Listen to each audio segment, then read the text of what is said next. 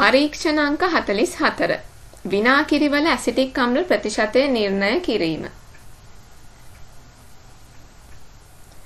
මෙම පරීක්ෂණයේ අරමුණ වන්නේ විනාකිරිවල අඩංගු ඇසිටික් අම්ල සාන්ද්‍රණය සහ ස්කන්ධ ප්‍රතිශතය සෝඩියම් හයිඩ්‍රොක්සයිඩ් සමග අනුමාපනය මගින් නිර්ණය කිරීමයි.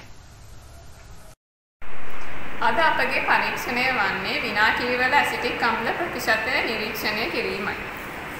එයට අවශ්‍ය වන අමුද්‍රව්‍ය වන්නේ බිවුර ආධාරකය සුදු ටයිල් කැටය පුනීලය කේතු ප්ලාස්කුව බින්දු හෙලනය පිපෙට්ටු පුරවණය බිවුරට්ටුව පිපට්ටුව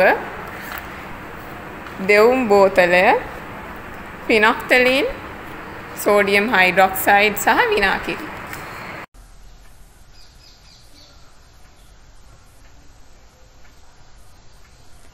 ඉන් පසු අපි පරීක්ෂණය සිදුවන ආකාරය බලමු.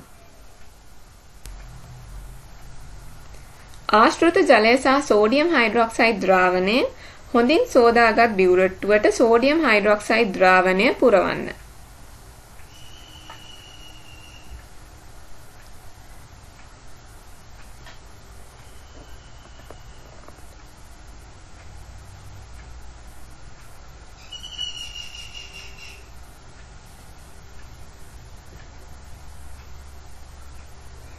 වායු බුබුල ඉවත් කරගත් පසු සෝඩියම් හයිඩ්‍රොක්සයිඩ් ද්‍රාවණය බිවුරට්ටුවේ බිඳුව මට්ටම තෙක් පුරවා ගන්න.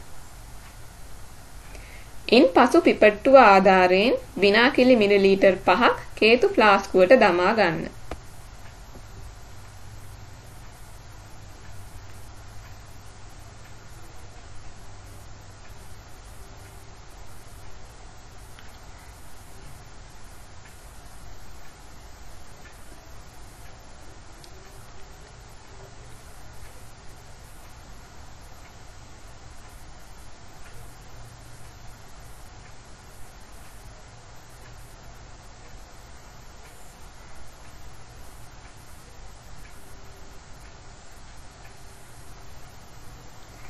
ෆිනොෆ්තලින් දර්ශකයෙන්ද බිඳු කිහිපයක් එකතු කර ගන්න.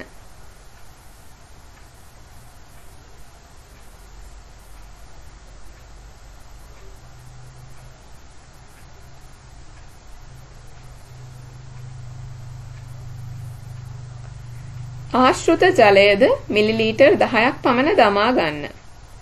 ආශ්‍රිත ජලය යොදාගෙන විනාකිරිවල පාට අඩු කරගන්න.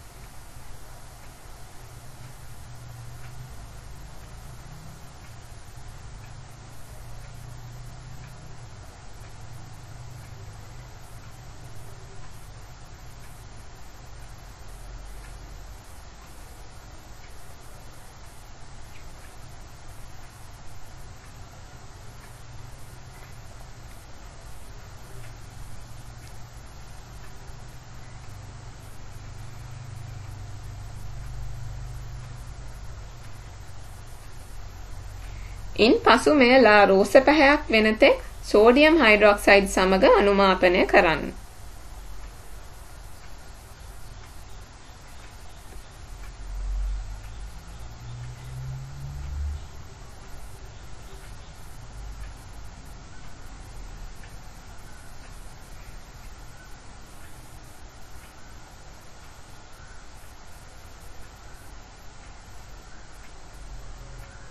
අනුමාපනය අවසන් වූ පසු බිවුරට්ටුවේ පාඨාංකය සටහන් කර ගන්න. මෙහි පාඨාංකය වන්නේ මිලිලීටර් 24.2ක්.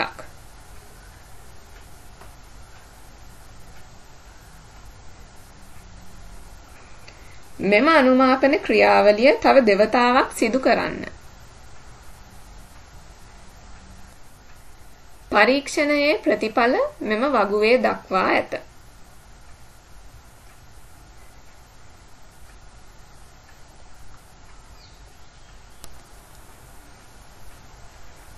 ඇසිටික් ඇසිඩ් වල සාන්ද්‍රණය සහ ඇසිටික් ඇසිඩ් වල ස්කන්ධ ප්‍රතිශතය මෙහි දක්වා ඇති පරිදි ගණනය කරගන්න.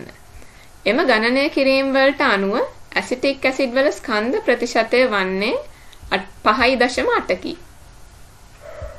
මෙම පරීක්ෂණයේදී අමතර කරුණු ලෙස අපි දැනගත යුත්තේ විනාකිරිවල මාධ්‍යයේ ඇති ස්වාභාවික වර්ණය නිසා දර්ශකයේ වර්ණය වෙනස් වීම පැහැදිලිව දැකගත හැකිවීමට අපි මේට ආශ්‍රිත ජලය යොදාගෙන තනුක කරගත යුතුයි.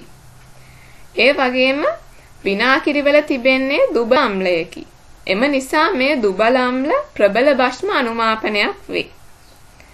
අනුමාපනයේ අන්තලක්ෂය නිරීක්ෂණය කිරීමට ෆිනොෆ්තලින් භාවිතා කර හැකිවන අතර එයට මෙතිල් ලොරේන්ජ් භාවිතා කර නොහැක.